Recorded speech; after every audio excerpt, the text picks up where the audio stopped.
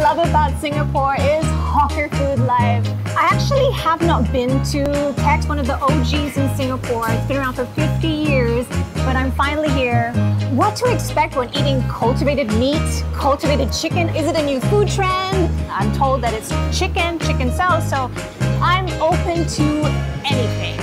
Oh, thank you. Okay, here we go. Makes me think, when was the last time you did something the first time?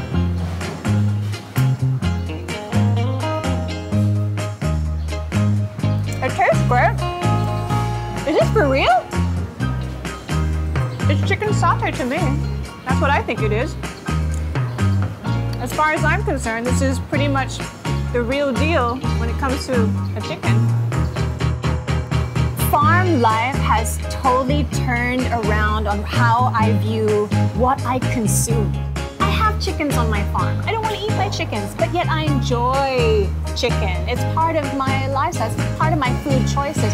But it's difficult going to the grocery and working out wait, was this chicken caged? Wait, did this chicken have a terrible life?